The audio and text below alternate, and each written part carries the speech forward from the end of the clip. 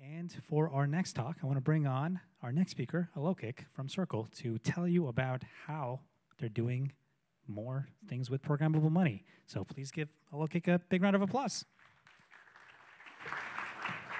Hey, thanks so much, Karthik. Hey, hi everyone. Uh, I'm Alokik. I'm a group PM um, uh, at Circle. Uh, focus a lot on how we can build like better stablecoin experience and increase the utility of using stablecoins. So, uh, current, uh, uh, quick show of hands. How many of you have kind of familiar with USDC or use USDC over the last year? Okay, so quite a few hands. How many of you are familiar with CCTP or have like bridged USDC from one place to another? Yeah. And have, how many of you have actually heard about programmable wallets, which is Circle's like wallet as a service offering? Okay, very few. Okay, cool. Yeah, so today I'm like clearly not a lot of you have heard about programmable wallets, and that's what I'm here to talk about today. Uh, this is one of the new offerings uh, that Circle built over the last year, and I'm going to talk a lot about what that is, why we built it, um, and share about where we think this like wallets and wallet infra are going. So, I mean, Circle is an asset issuer. We build USDC. We also build CCTP. I want to first talk about why wallets and why it's important in how we see uh, programmable money and, and, and making it easy to use uh, uh, USDC. When you look at what our focus is, and I think uh, it is a mission statement, but I think that, that it's, it's super powerful. What we're trying to do is raise global economic prosperity through the frictionless exchange of value.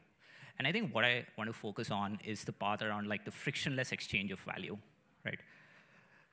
When you look at stablecoins in general, they're becoming the dominant way in which value is exchanged. Uh, it's the dominant medium of exchange that exists on chain. When blockchains were there like 10, 15 years back, it started out primarily with Bitcoin as being like the, the clear asset that people use to exchange value. And over the years, you've seen like that change completely from Bit, uh, Bitcoin to ETH to actually like stables. And, and the volume is significant. When you look at like comparable like traditional financial volumes, the value transferred on stablecoin uh, on like public blockchains today is almost the scale of say a Visa network, right? It has over the last few years grown to a significant value. So the, val the, the, the, the, exchange of value is actually happening very well with stablecoins.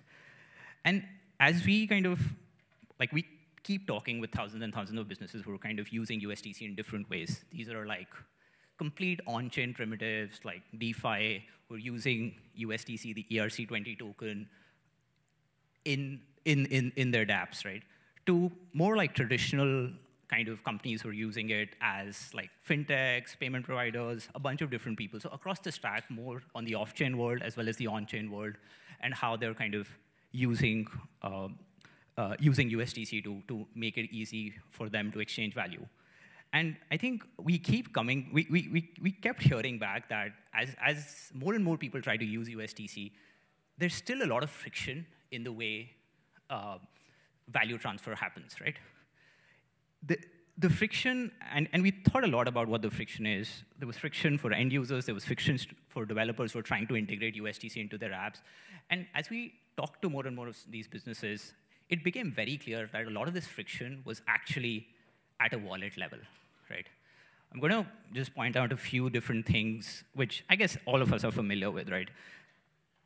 Nobody wants to manage like secret keys. Gas is a big pain in paying that in native tokens on every chain. We're increasingly going into a multi-chain world and having USDC, having different assets across different chains. You still have to remember different addresses. A simple transfer, if I have to do to any one of you, it is two or three lines of questioning to actually do that simple P2P transfer. You have to sign for every transaction. Just a bunch of basic problems that people, people have. And what like end users really want and what we hear is just a simple like Web2 experience, right? That's exactly what people kind of want. And when you look at the building side of it, right, if I'm a developer trying to build an on-chain app, all I, all I want is like, it has to be secure. This is like crypto Rails crypt everything is pro proved cryptographically. It, there has to be a simple, sec secure way to do it. It has to be flexible for different use cases it has to be scalable. And I think this is very interesting because a lot of our initial customers or customers who we are trying to talk to were like big enterprises, Web2 enterprises, trying to build like an app. And the kind of questions we get on the scalable side is like, how can we support 1,000 TPS uh, on, on blockchain rails? Because that's what they're used to, right? And it has to be bundled. There's also a lot of fragmentation as like, if, if you're trying to build an app, you have to have like five different providers based on what you're trying to do, right? And all developers care is just like give me a simple developer experience so I can focus on the actual problem that I want to work on, which is whatever the problem they're trying to solve by, by bringing their users on chain. And this really led us to building like programmable wallets like a year, year and a half back. So we launched like a beta in June 30th with a very simple kind of goal, right? How do you enable Web2 experience with a simple DevX to get more and more people on chain, right? Name is, the na name is self-explanatory, like how do we make wallets more programmable? And, and that, that was the key thing. Which kind of bring, brings me to like, what is like a programmable wallet? Or like, how do we think about wallets and what level of programmability they, they have? We thought a lot about this, and I think where we landed at is the key to building a wallet is like three different parts and these three different parts are equally very important and critical in how wallets work. Obviously, one is like the whole account side of things. You have externally owned accounts, EOAs, or smart contract accounts, and how that part can be taken care of. The next thing you have is like securing the key, right? And the third part also, which we think is a very integral part of how wallet should be kind of function, is like the blockchain infra kind of part, which is the way you read and write on-chain at scale. I think it's easy to do like a few transactions, reading, writing on chain, but when you're thinking of thousands of kind of transactions, when you're think, thinking of enterprise scale, uh, it becomes uh, a lot more interesting. And based on like our initial kind of customers, which were typically like Web2 enterprises, we kind of thought about how can we make the key management layer and the blockchain infra extremely programmable? How can we make simple REST APIs that make it very easy to create a key management solution which, is, which, which was very easy for the developer. We kind of landed at MPC-backed keys, which were either developer-controlled or end-user controlled. As the name suggests, in one case, the end user, end user has complete control, and in the other case, the developer has complete control. And then, like, you can read and write on blockchains at scale. So I'm like thinking enterprise scale, big companies trying to go on chain, how do we make that happen? Our first kind of like anchor customer or use case that we kind of went live with was Grab. Uh, for those of you not familiar, Grab is like a, a super app in Southeast Asia, almost 200 million users. Uh, uh, think of them as like a mixture of like Uber, DoorDash. It's like a super app which a lot of people use in, in Southeast Asia. And they, they had a simple request. They wanted scale. They wanted to focus on use cases, and they were kind of like as you can see, they're trying to get like a bunch of people on chain or, and kind of create like this embedded invisible Web3 wallet inside their app. And they, they needed simple things, right? And we kind of went live with them around June or August last year. Uh, and it was one of the first like enterprise deployments of 4337 compatible smart contract accounts because we thought like, like gas management was a big part of what they wanted to uh, offload. And this is just like one type of example. We see a bunch of different other companies kind of trying to go on chain. Overdare, which is um, which is a big publisher trying to do payouts in USDC. Work with like RedotPay, which is trying to get issue credit uh, debit cards, uh, which are completely backed on chain. So a lot of like use cases of what we like, like real world use cases of using USDC required this very scalable wallet, right? But we kind of keep coming back to like, how do you, like the experience still when you kind of build programmability at the blockchain infra level as well as the um, uh, as well as the uh, key management layer, I think is like not enough. Like where we landed at is you still need experiences which are one click or actually no click at all, right? You still need things on-chain. A lot of like what we are building is essentially like off-chain logic to enable an on-chain use case, right? And that made sense in a world where gas fees were very high, but we are increasingly going to a world where gas fees are low. A lot of a lot of that code which is actually off-chain can re rest on-chain. And the third thing, which is extremely important, it has to be non-custodial.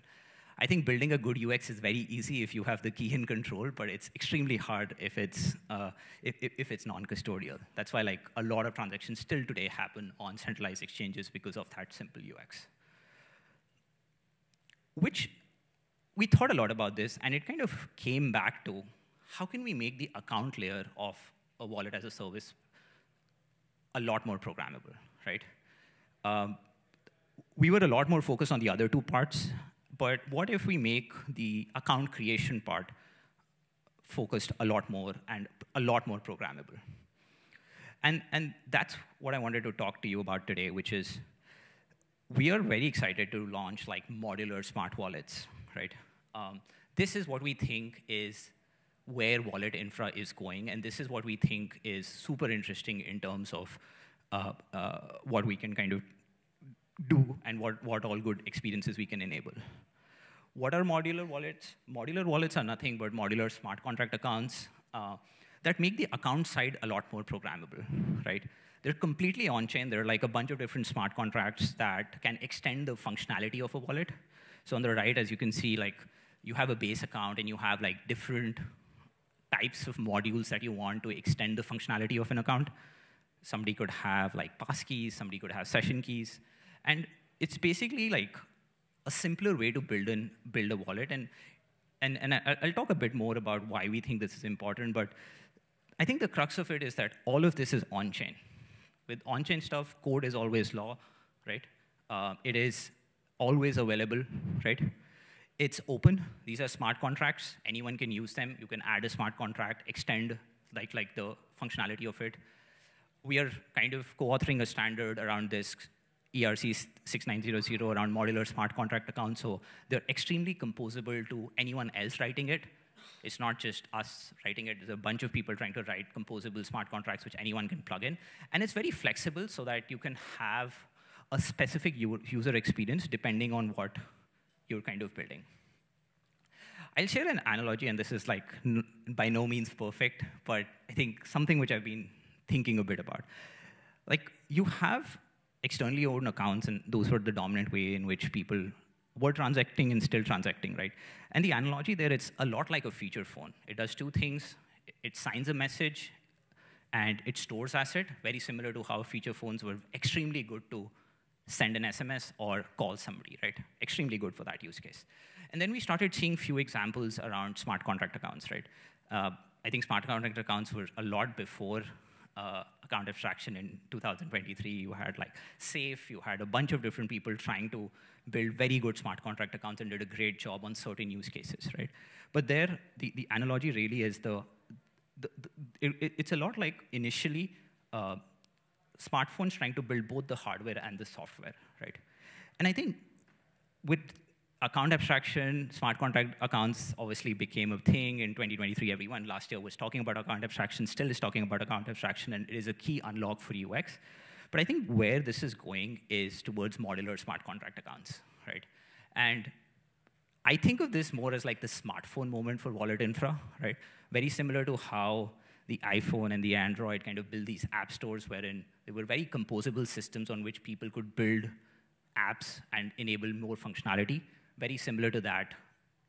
Like these these ERCs and this for different standards, and there are two standards, 6900 and 7579, which are a lot focused on building modularity at a wallet level. And it's just not like wallet developers writing. Any dApp can write a module. Anyone can actually write a module. What's an example of that? We get a lot of businesses who are focused on how can we store our USDC a lot more safely, right? I think you can create an account with, say, like three different modules. You can have like a weighted multi-sig, you can have an on-chain whitelist, you can have like spending limits, all that enforced on-chain. So you can like get a base account and get these three modules, and all of that exists on-chain. You don't have to write any code off-chain or rely on any provider off-chain in order to get like those functionalities, right?